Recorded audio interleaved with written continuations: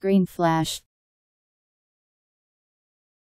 A rare phenomenon observed in morning or evening when the sun is crossing or immediately below the horizon, in which a momentary flash or ray of green light appears above the upper rim of the solar disk, caused by refraction of light in the atmosphere.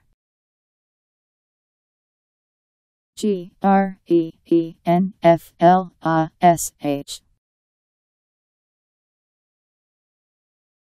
Green flash